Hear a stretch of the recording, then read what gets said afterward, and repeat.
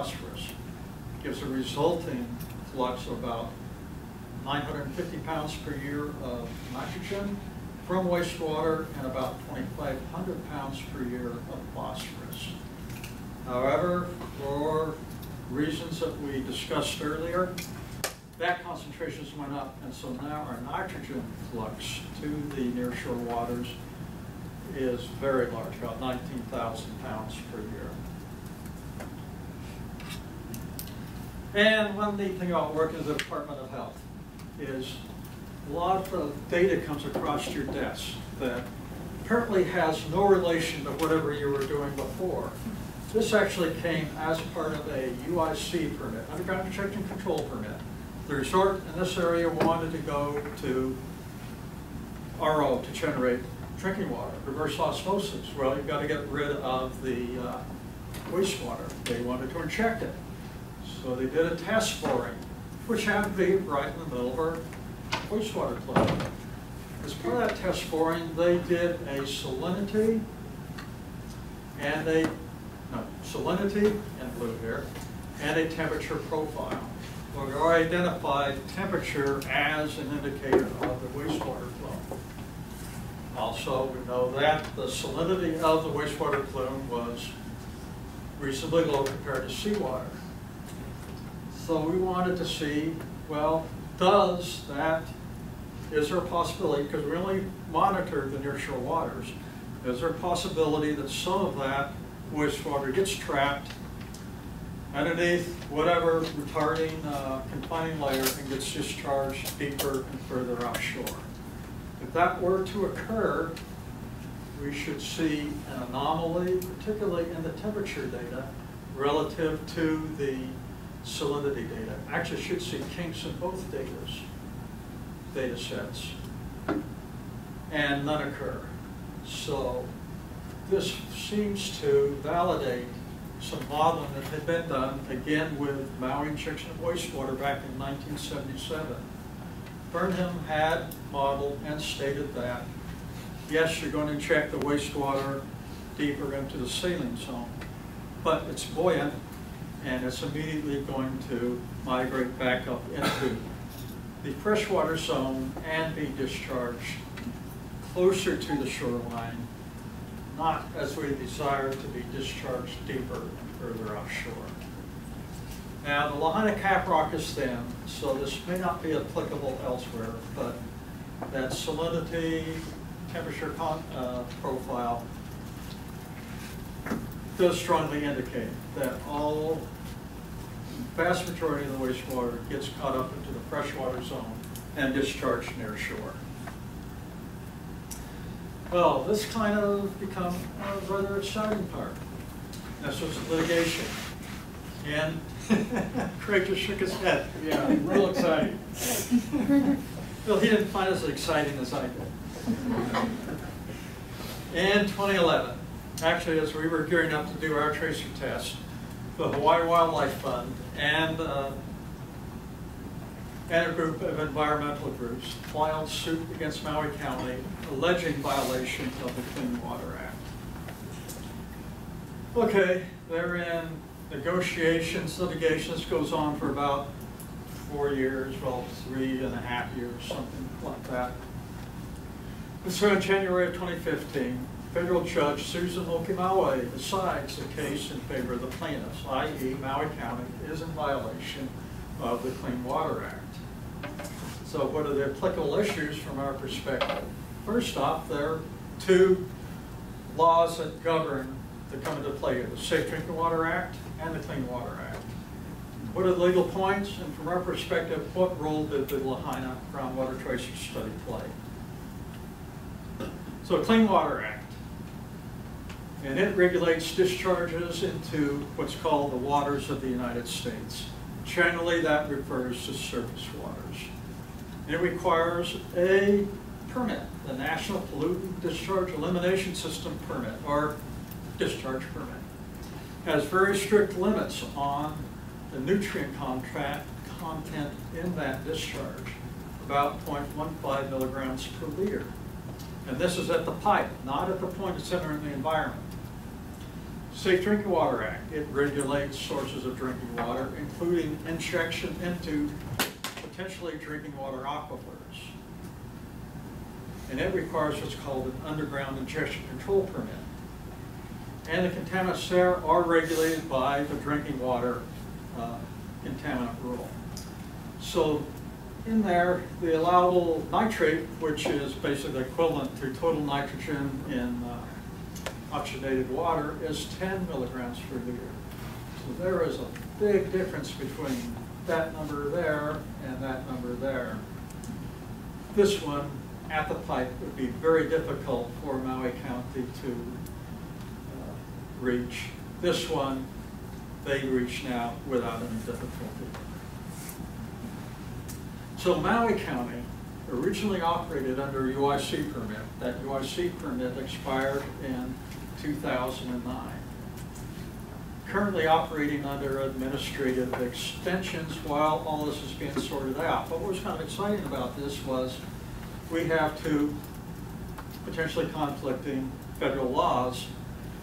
Had, this had the potential to go to the Supreme Court, which you know, I thought was kind of neat. Craig did stir my enthusiasm. So the judge's decision, okay, what role did the study play? Actually, turned out a pretty big role. Judge's decision was based upon a proven connection between the injection wells and the nearshore waters. And also the estimated fraction of wastewater discharging into nearshore waters. It was estimated to be significant, greater than 50%. And in the, the opinion of the judge, the above constitutes a discharge, a point of discharge into the waters of the United States, i.e. nearshore recreational waters. And also based on the judge's decision, this man stated that Maui County may have been in violation of the Clean Water Act since the UIC permit expired in 2009. If it is viewed legally that way, could result in enormous fines. The damages, however, were to be determined here last month. But as reported in the Maui News, the two parties are close to negotiating a settlement. And this is kind of a side note, don't know if it had anything to do with it, but in June of 2015, EPA issued a revision of the Clean Water Rule, basically their, how they're going to apply the Clean Water Act. And paragraph's kind of long, but the optimum point here is the rule also does not regulate shallow subsurface connections nor any type of groundwater. Whether that motivated the settlement or not, I don't know, but it did seem to say that we should be regulating uh, wastewater injection under the UIC, therefore the Safe Drinking Water Act. Now, of course, another major uh, way we deal with wastewater that will affect groundwater is on-site sewage disposal. An example here is a house. Wastewater goes to a septic tank, settles, all the solids settle out.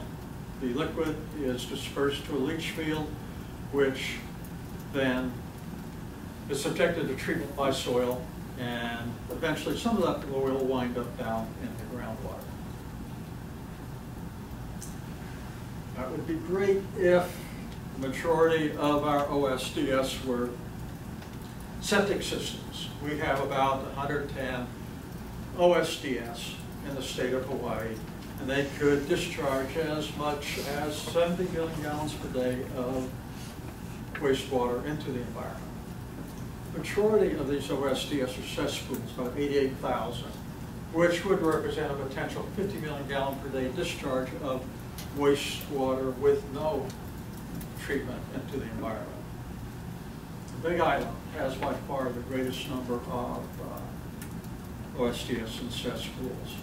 And that's kind of even between the other three major islands, Kauai, Maui, and Oahu, although keeping in mind that the Big Island is called the Big Island because it's the biggest.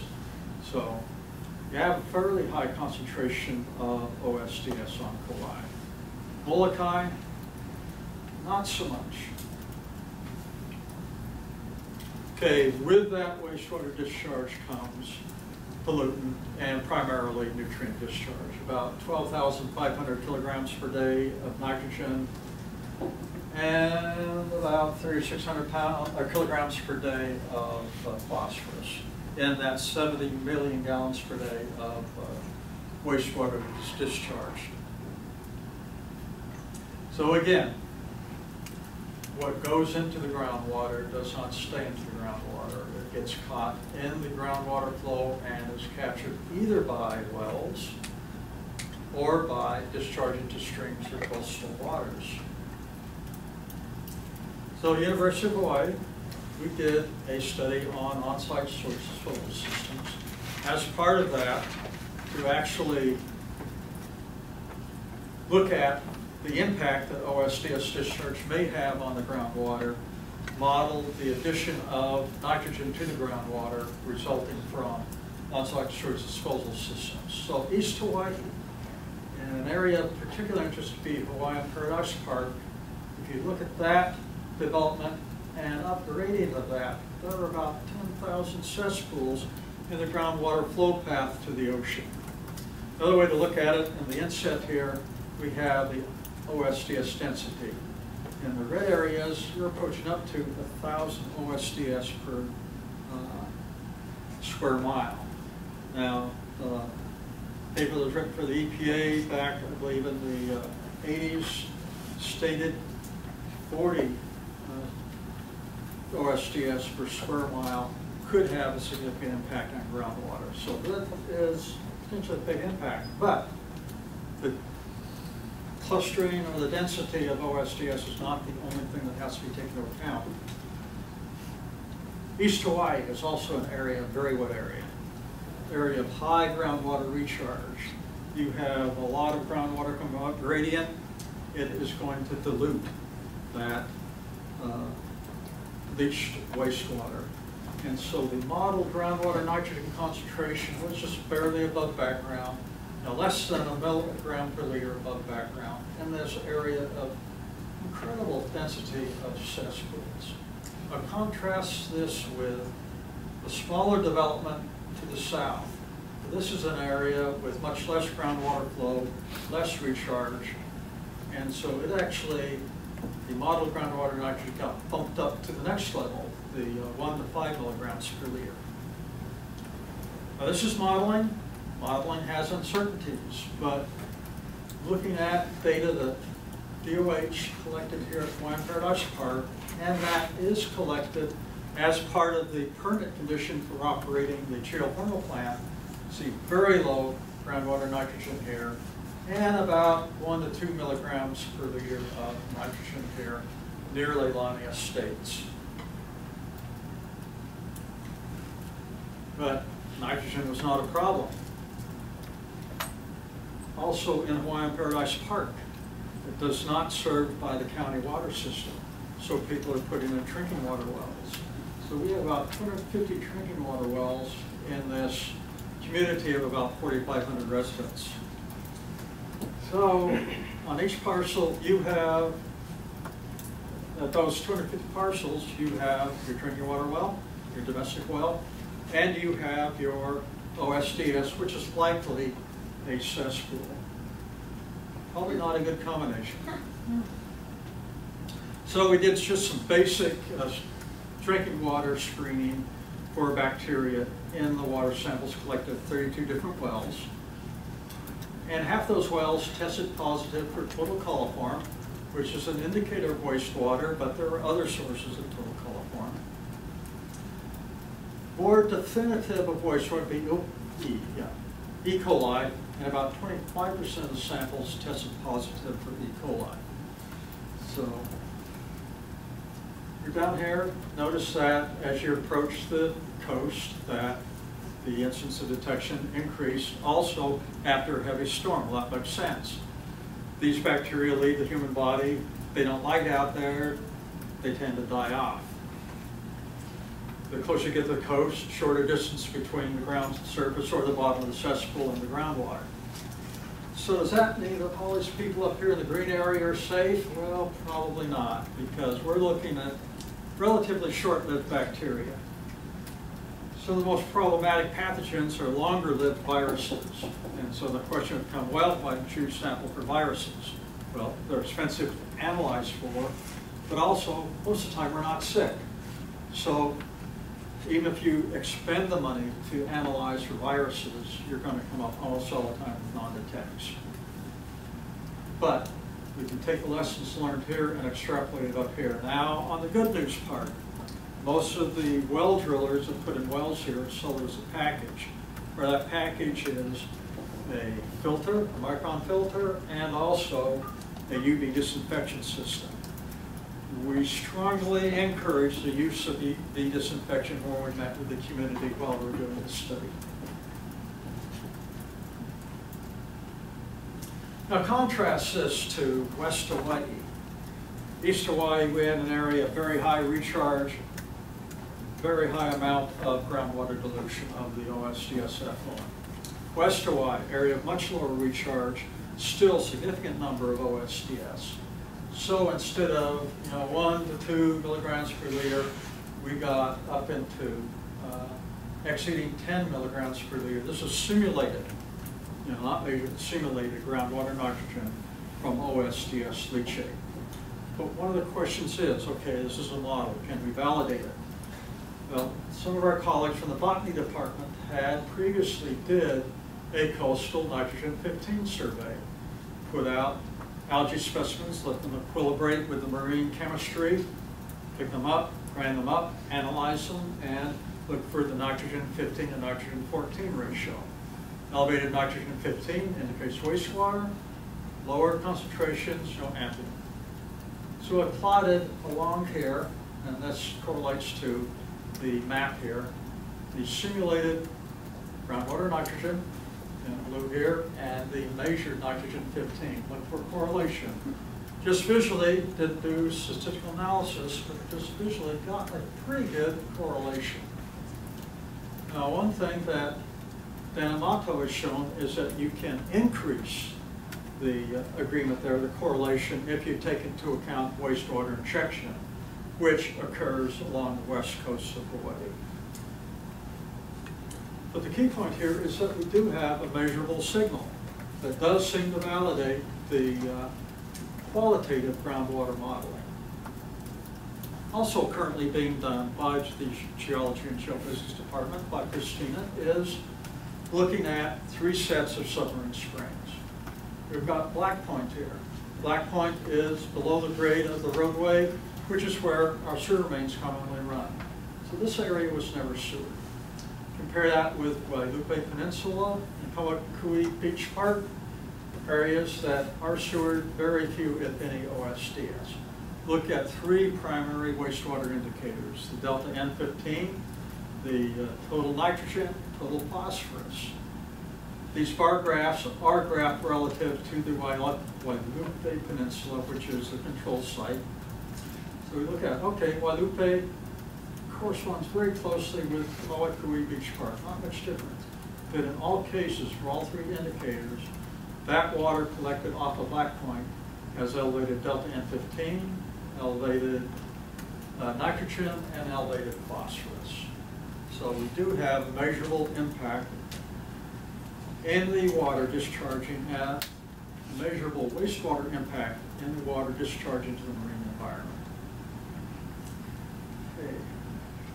If people recall about a year ago, this was in the news, there was a complaint received at the Department of Health about people recreating the Kahaluu Lagoon and coming up with nasty infections.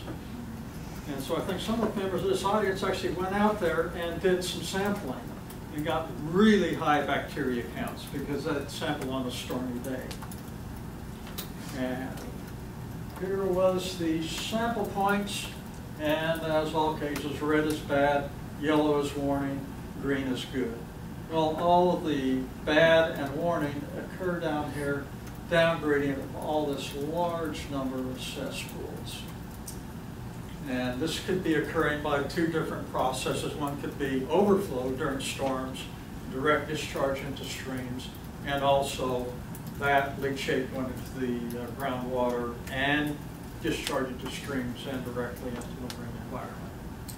But not only do we have a measurable impact, but we have an adverse health impact from uh, on-site sewage disposal systems. So what's being done? Well, a couple of major things are being done here at the Department of Health, well, down there at the Department of Health. First off, revising the wastewater regulations. This is being done to not allow new cesspools. It was actually attempted last year, and because of the way the regulations were written, there was a lot of blowback. Not the ban of new cesspools, but we wanted to go beyond that and start replacing existing cesspools. The other is, so, okay, now we're going to encourage upgrading exist, existing cesspools in critical areas. So this last legislative session, Act 120 was passed. What that says is in certain designated areas, the state will allow a $10,000 tax credit for a cesspool to upgrade to septic or to be connected to a sewer. These tax credits are available for five years, starting in 2016, will extend to 2020. But there is a $5 million cap each year. So you run those numbers, and that comes out to be about uh, $25 million over five years. Best estimates is that there are about 6,900 qualifying cesspools. However, the payout cap limits the benefits to 2,500. Now, we don't know whether we are actually going to uh, wind up even uh, providing tax credit for all 2,500 because the cost of an upgrade is greater than 10,000, usually in the 25 to 30,000 dollar range. So it still is a significant financial burden, but the payout to the environment would probably be a good investment.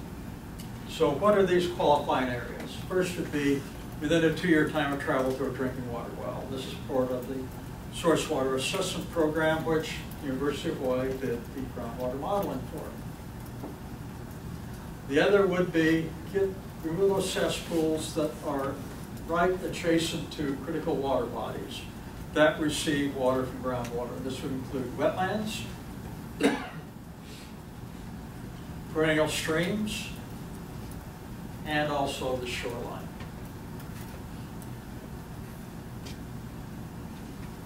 So where does this leave us? Well, it leaves us with wastewater as a fact of life, with a lot of conflicts. We all generate it, we don't want to deal with it, but all the options for dealing with it have potential adverse, have potential for adverse consequences. Wherever we put it, somebody's going to be unhappy. It's going to result in lawsuits, new laws, or new regulations. So it's kind of a team effort. We as managers and regulators, I'm talking about the Department of Health, we need to work to minimize or eliminate the adverse impacts. The academic community also plays, plays a role here. Need to keep current with the issues. Once current with the issues, design and propose scientific studies to address the issues. And as was seen in Lahaina, the environmental community also plays a part. They keep the rest of us honest. So it is a team effort. And that brings me to the end of the presentation. I think Ryu's going to fill off the edge here.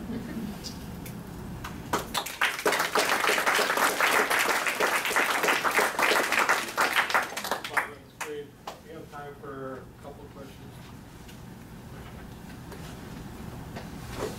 Yes. That was a wonderful, uh, wonderful discussion. I enjoyed it a Uh, one comment though, on West Hawaii, you mentioned about how hot the, uh, cesspool issue is there. There's a, there's lots of anecdotal information around there about people drilling cesspools and hoping that they hit a lava tube. And in fact, the director of Lake told me a wonderful story about someone downslope who was, who was drilling a, a cesspool behind their house and the drill string dropped into the, wa- and they said, great, we got a lava tube, we're, we're done. They pulled the drill string out and they had an artesian flow, little geyser of sewage in their backyard. That comes under poetic justice. Yes. I, I'm guessing that there's probably not much handle of that in the groundwater models. No. kind of- Well, one thing, uh, in the groundwater model, actually, it would simulate that more closely. because in the groundwater model, we assumed no attenuation once it left the zone of treatment. So with cesspools, it was a maximum of about 60 milligrams per liter assumed in the uh, leachate. If on a septic system, then that would be, I can't remember what the number was, but, you know, five milligrams per liter. Uh, And the example you gave, yeah, the model would be accurate, but let's move up to Mountain View. Mountain View, or even central Oahu, thick soil cover, so you would get a lot of incidental treatment. But yes, in West Hawaii, it, the cesspool is not a good idea. Hawaiian Paradise Park, same thing, absolutely no soil. Uh, There was a study done, uh, I think back in the early nineties, where somebody put a data logger in a well in Hawaiian Paradise Park, let it log, and then looked at the rain, and I think it was within a few hours of the onset of heavy rain, you've seen an increase in the water table elevation. So there you have the vertical travel time in the hours at the most, where in central Oahu, months and maybe years travel time. Question up front here, Bob. Pardon? Oh, yes. Uh, the- I I just want to make two points. Okay. The first one is a scientific one, uh, that you are able to determine the dispersivity value as uh, tw- twenty-five meter. Yeah, But that's extremely important piece of data, yeah. and uh, congratulations. Thank you. Yes, and I, and that's the neat thing about the tracer test. You can actually directly measure dispersivity rather than estimating it. Although it was actually estimated by modeling. Holly and, and I were trying very hard to put a figure on what the hydraulic conductivity of the very fresh upper flow on the west coast of Hawaii, remember that? Yeah. And uh, so, so it's a very valuable bit of uh, information, scientific information. Uh, I, I, I will talk about past, uh, that could help to mention that injection well, I had the privilege to, to participate in perhaps the first injection well test in nineteen fifty-three in California.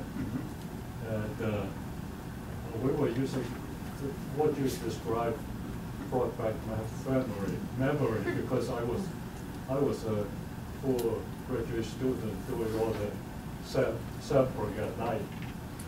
Uh, the tracer we used was actually iodine one thirty-one. I don't know whether it's a very common, uh, iodine one thirty-one. So, but, uh, uh, and that, uh, besides the forestry and Mhm. rotary and all that, Mhm. uh, so, but, uh, let me,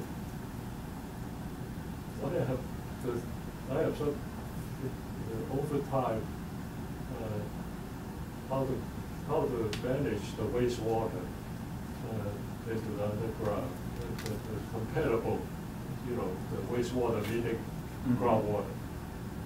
Uh, What I seem to, to have not heard today is a red, land treatment system. And, uh, that's uh, applied to the wastewater on a living filter Mhm. vegetation. And let the vegetation do the cleaning up of the nutrients. And then permit the uh, leachate or percolate, uh, uh, percolate the underlying brackish water or groundwater.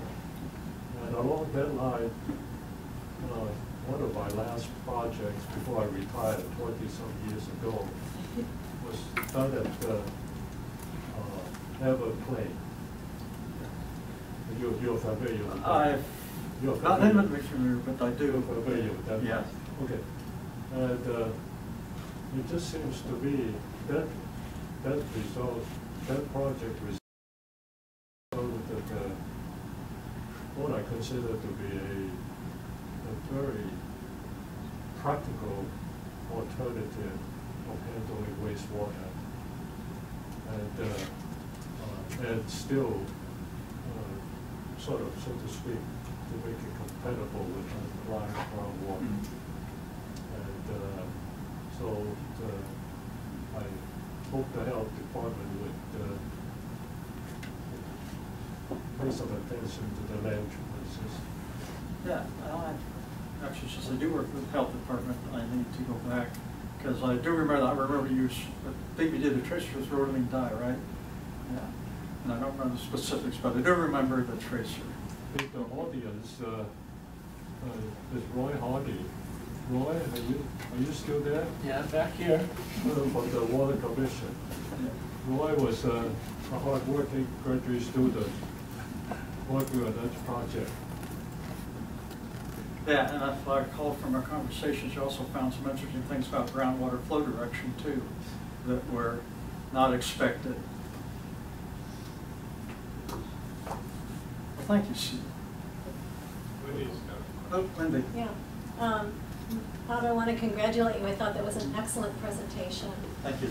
And you did a great job of showing how um, data and research from the university informs the regulatory process for Department of Health. Um, But one thing that strikes me is that Department of Health may or may not act on that information. You know, for example, they haven't issued an NPDES permit for Lahaina, despite the findings of the tracer study and the judge's ruling. Um, And then, and, and they haven't banned cesspools. Well, we actually, you know, we wound up with a lot of opposition, even with the, okay, and the, last year, what the proposal was to require that, uh, at the point of sale, that any property with cesspool would have to upgrade to a septic system. And there was a huge amount of blowback from the realtor community, and they prevailed. And I think that's part of some of the reason why we don't always, Department of Health does not always act. uh, Well, that's not all the reasons. They have a whole other set of factors that they consider in addition to the scientific information. Um, one question that I had though was about the, the proposal to, um, fund cesspool replacement within two, was it two hundred feet of the critical resource? And do, do you believe that's sufficient? Uh, Two no, hundred but it's feet a is enough of a buffer? And uh, actually, we've had discussions about that. And that actually was, although we did help with the wording of that law, that law was generated by one of the representatives. Actually, I think it was a senator and it was a co-sponsor.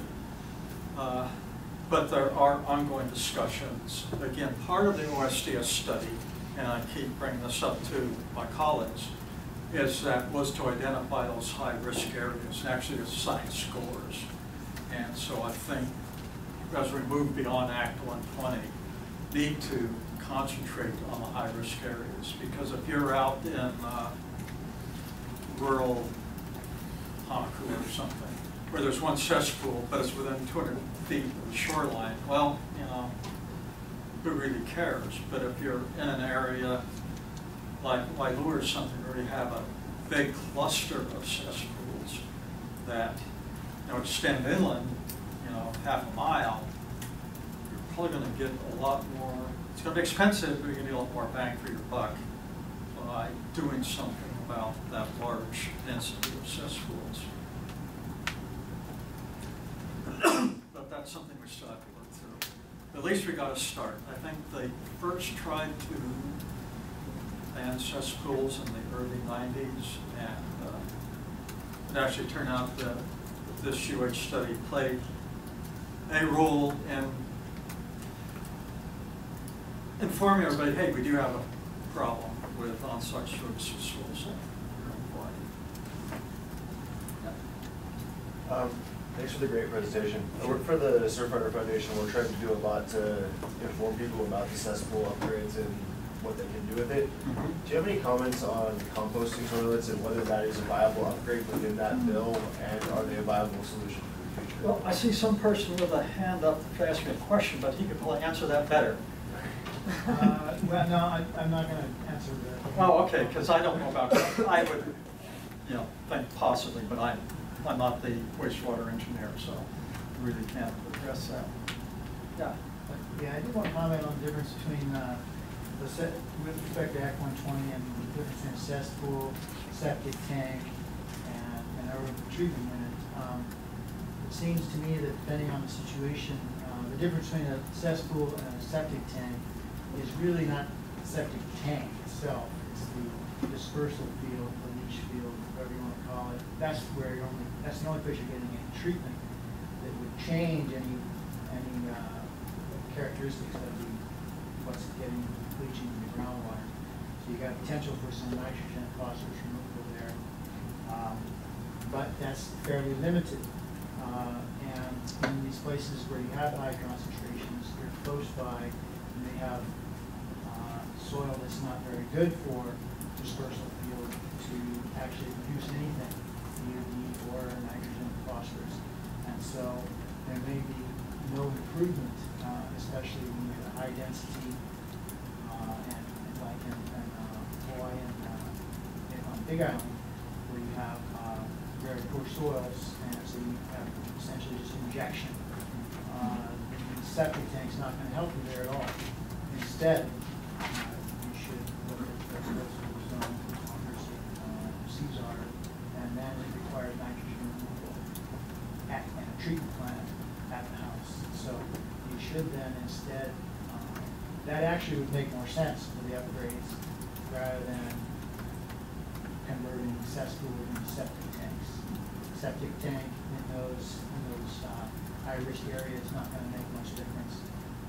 You need a- You need a treatment And those technologies exist and, uh, they don't necessarily cost more because you don't then need the dispersal field. You can keep your cesspool as an injection, but you're now injecting, uh, clean water that's been really treated to secondary or tertiary levels. including And that dis- is- Including disinfection. That's- That's what we did, we looked at in some of our Well, models. that's kind of one thing that uh, I do bring up periodically, is that the septic system discharge to a seepage pit is not, and then the report actually does show that there's not much improvement. But one question that occurred to me is elevated beds, are they also an option uh, for uh, a leach field? Not sure what's allowed at that. And I don't know what the relative costs of each of them are, but, yeah. So we- we- we've kind of gone over time here, so we have a couple more questions. Go ahead. Do you have any judgment about how the change in concentrations might vary if you took the Lahaina wastewater, instead of injecting it in the ground, and treated it in R one distributed to irrigation system, plantation, ag field to mouth of that earth? Well, There you get actually what Roger was referring to, you get soil treatment, so, If you can find a user. Yeah. No, but I mean, would, would that, would that mitigate the problem of concentrations in the ocean to a large extent? I'm sure it would, but one thing, you would get dispersal, there wouldn't be a point discharge. And the other, you would get the advantage of uh, soil treatment, incidental, but it is real and will occur. Can I just add to that, that, the golf course that they do there with the, with water, you see a lot of ground, in ground. Surface runoff. Groundwater. Groundwater. So, so that, that's. Okay, one more over here and then we'll have the conflict.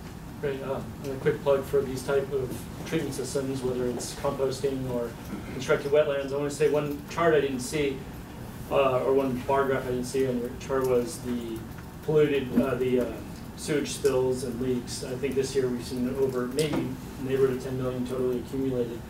Um, and so these large scale municipal delivery systems are aging and failing. And that's another thing to consider, I suppose, when we're looking at, you know, the, the state of the groundwater in the nearshore environment. Definitely important. Uh, I guess the thing that we're concentrating here would be the chronic discharge of pollutants versus, uh, and managing that with the acute events also potentially important. No. of course you can. What? Please, go ahead. The- I want to congratulate matter of semantics. Uh, I'm glad to see the word groundwater and wastewater, both of them, one word. Groundwater is one word, wastewater is one word. And over my time, we struggled for the longest time to make them one word and this prevail. In the journal Groundwater, there was, I think, an editorial that said just that. Okay, so let's, uh, kind of wrap up our talk with entitled groundwater meets wastewater. All right, so